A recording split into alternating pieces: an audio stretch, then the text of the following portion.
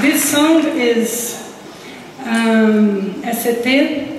I did in the very beginning of the 90s with two of my most frequent partners, Carlinhos Brown and Nando Reis. all Brazilians here know because it was recorded by one of the most amazing singers Brazil ever had, Cássia Eller.